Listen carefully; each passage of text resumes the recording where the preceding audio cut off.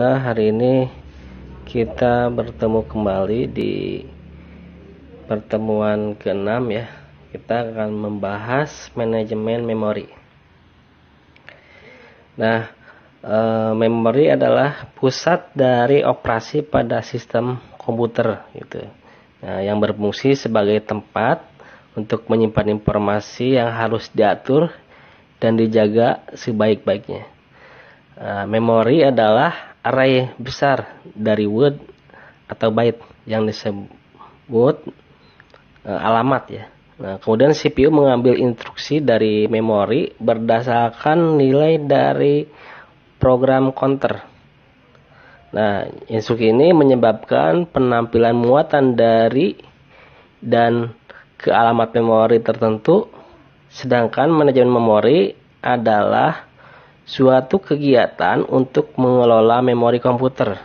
Nah, proses ini menyediakan cara mengalokasikan memori untuk proses atas permintaan mereka, nah, membebaskan untuk digunakan kembali ketika tidak lagi diperlukan, serta menjaga alokasi ruang memori bagi proses.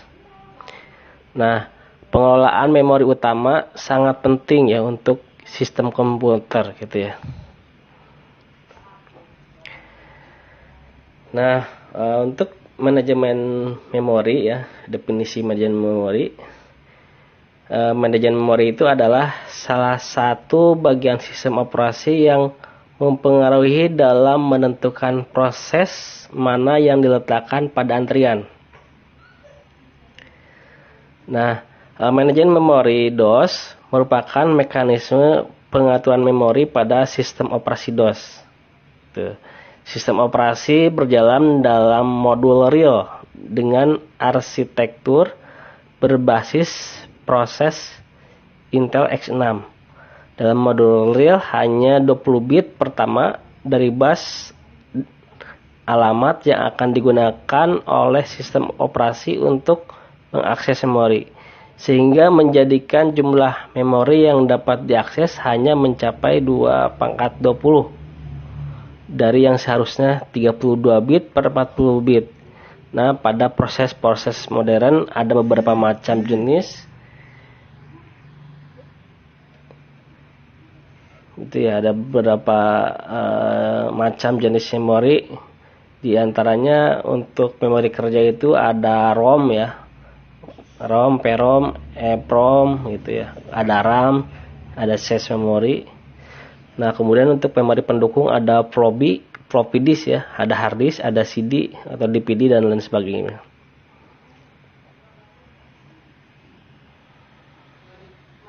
Nah, kemudian memori utama harus diatur sebagai mungkin gitu ya. Nah, jadi supaya bisa uh, meningkatkan utility CPU sebesar-besarnya dan data dan instruksi dapat diakses dengan cepat oleh CPU itu ya. Nah kemudian memori utama memiliki kapasitas yang sangat terbatas sehingga pemakaian harus seefisien mungkin. Nah kemudian transfer data dari memori ke memori utama dari CPU dapat efisien ya. Jadi kalau diatur uh, memorinya ya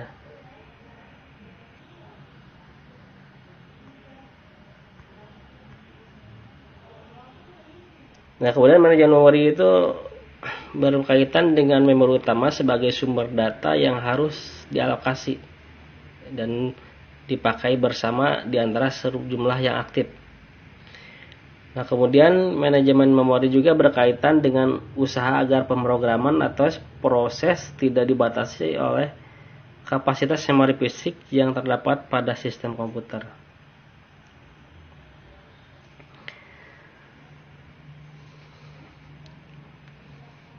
Nah, sebelum ke fungsi manajemen memori, nah di sini untuk manajemen memori terdapat dua manajemen yaitu ada manajemen memori statis dan ada ada juga uh, manajemen memori dinamis.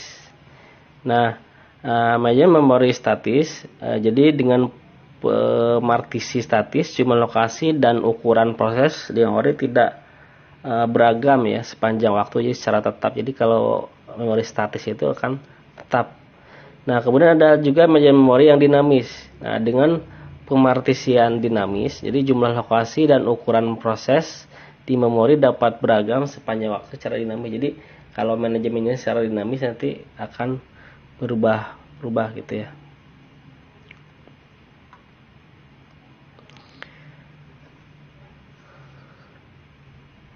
Nah, untuk fungsi manajemen memori, nah di sini fungsinya uh, manajemen memori itu sangat penting untuk memproses dan fasilitas masukan keluaran secara efisien.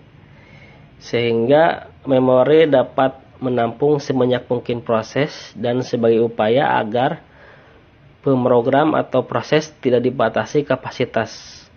Jadi memori fisik di sistem komputer tidak terbatas. Nah, uh, di bawah ini merupakan in, uh, fungsi dari manajemen memori. Nah, yang pertama mengelola informasi memori yang terpakai dan tidak terpakai. Nah, jadi dengan di manage ya kita bisa mengatur gitu ya. Mana yang uh, terpakai dan tidak gitu ya. Nah, kemudian fungsinya itu yang kedua mengalokasikan memori ke proses yang memerlukan. Ya, kemudian yang ketiga mendelokasikan memori dari proses yang telah selesai.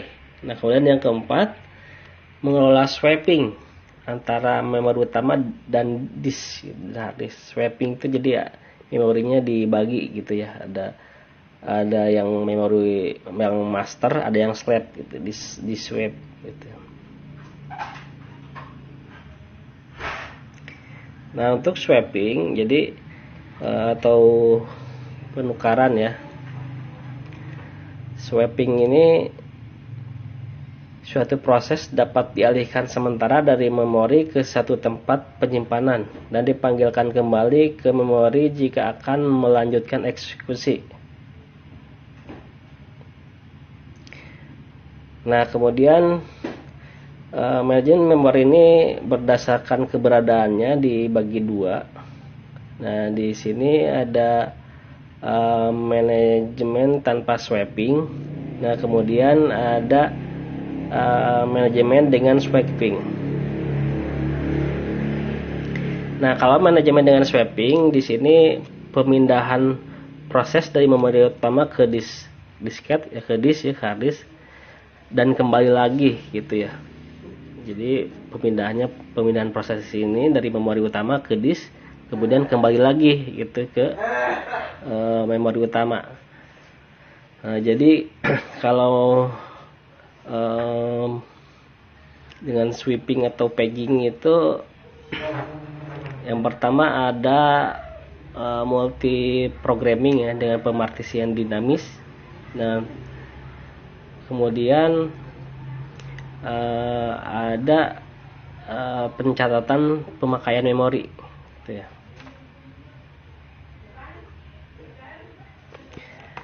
Nah, kemudian ada monoprogramming.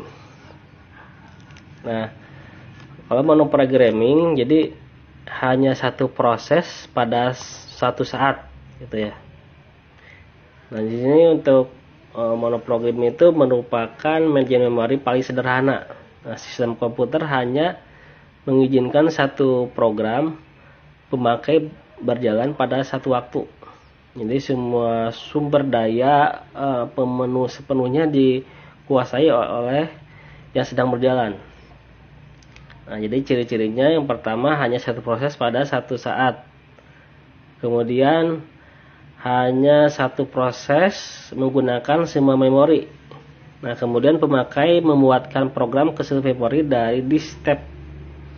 Nah, kemudian program mengambil kendali seluruh mesin karena hanya terdapat satu proses dan menguasai seluruh sistem, maka alokasi memori dilakukan secara berurutan. Nah, untuk uh, raming. Nah, di sini di, bisa dilihat di sini ada memori utama sistem operasi RAM.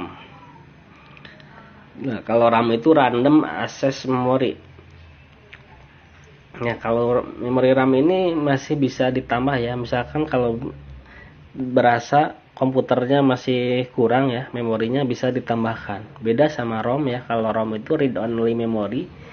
Nah, kalau ROM itu bekerja ketika awal booting. Jadi awal dinyalakan komputer. Nah, itu memori ROM yang berjalan. Kalau ROM tidak bisa ditambah ya. Jadi uh, dia hanya uh, ber satu kali ya hanya satu jadi uh, maksudnya kalau sudah misalkan ukurannya 1 giga sudah tidak bisa ditambah lagi nah kemudian multi programming dengan pemartisian statis nah multi program multi programming banyak proses pada memori utama pada saat bersamaan nah Uh, di sini ada alasan untuk menggunakan multiprogramming. Nah, pertama mempermudah pemrogram karena uh, pemrogram dapat memecah program menjadi dua proses lebih. Nah, kemudian agar dapat memberi layanan interaktif ke beberapa orang secara simultan. Nah, kemudian efisien penggunaan sumber daya Nah, kemudian eksekusi lebih murah jika proses besar dipecah menjadi beberapa proses kecil. Nah, kemudian alasan selanjutnya dapat mengerjakan sejumlah job secara simultan. Nah, kemudian untuk partisi statis. Nah, memori dibagi menjadi sejumlah partisi ya. Jadi eh, ada yang Eh, pada partisi proses ditempatkan ya. Jadi berdasar ukurannya dibagi dua, pemartisian berukuran sama. Nah, jadi pemartisian dengan berukuran yang berbeda.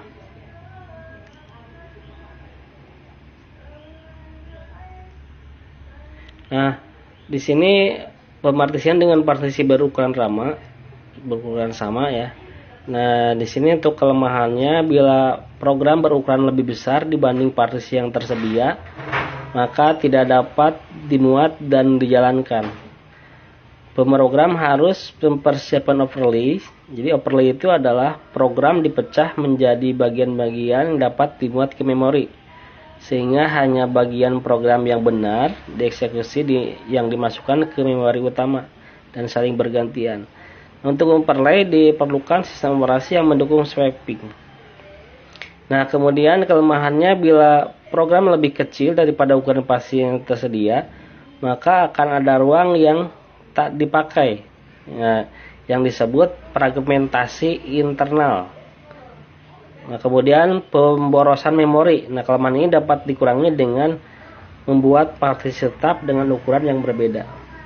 Nah, jadi pemartisian dengan partisi berukuran sama di sini misalkan partisi satu nah partisi dua jadi dibagi-bagi ya jadi dipisah-pisah ya dibagi jadi misalkan di dalam hard disk itu ada lokal disk C D ada lokal disk E gitu ya jadi dibagi-bagi dipecah nah sebaiknya kan ketika kita menginstal juga kita uh, jangan sampai di komputer itu hanya terdapat satu lokal disk. Misalkan hanya ada uh, lokal disk C. Nah, itu akan membahayakan ketika uh, kita menginstal ulang komputer tersebut. Nah, jadi data yang sudah ada akan hilang gitu ya.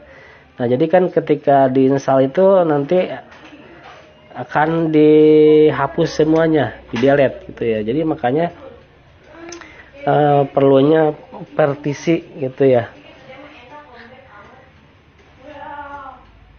Nah, kemudian pemartisian dengan partisi berukuran berbeda. Nah, jadi sistem operasi e, bisa dipisah-pisah ya ukurannya dibagi jadi sesuai dengan kebutuhan gitu ya. Nah, misalkan untuk program misalnya lokal disk kebutuhannya berapa yang ingin digunakan, berapa giga. Nah, kalau misalkan yang dibutuhkan eh, 50 giga ya berarti dialokasikanlah di e, lokal disk misalkan 50 giga. Gitu. Jadi Nah, atau misalkan uh, di sini fragmentasi ya pada partisi. Jadi fragmentasi itu mensia-siakan atau pemborosan memori yang terjadi pada setiap organisasi penyimpanan. Nah, fragmentasi internal nah ini proses tidak mengisi penuh partisi yang telah ditetapkan untuk proses. Nah, kemudian fragmentasi internal partisi tidak dapat digunakan karena ukuran partisi lebih kecil dibanding ukuran yang menunggu di antrian. Nah, untuk partisi dinamis, nah partisi uh, di sini ada partisi statis jadi menyebabkan memori banyak diboroskan dengan proses-proses lebih kecil dengan partisi di ampitnya. Nah, dengan partisi dinamis, maka jumlah lokasi dan ukuran proses di memori dapat beragam sepanjang waktu secara dinamis. Nah, jadi proses yang akan masuk ke memori segera dibuatkan partisi untuk e, sesuai kebutuhannya. Nah, teknik ini meninggalkan utilitas memori. Nah, tapi kelemahannya dapat terjadi lubang kecil memori di antaranya partisipasi yang dipakai memori merebitkan alokasi yang dialokasikan memori. Nah, contohnya di sini memori untuk sistem operasi, kemudian Eh, proses satu berakhir membebaskan memori. Nah, kemudian memori untuk sistem operasi. Bisa dilihat sini. Nah kemudian proses ketika berakhir membebaskan memorinya gitu. Nah sampai di sini pertemuan hari ini ya mudah-mudahan dipahami. Ya kalau kurangnya coba uh, kamu cari ya di sumber lain ya gitu ya. Biasa dari internet dari media apa pun ya. Nah, sampai di sini terima kasih. Assalamualaikum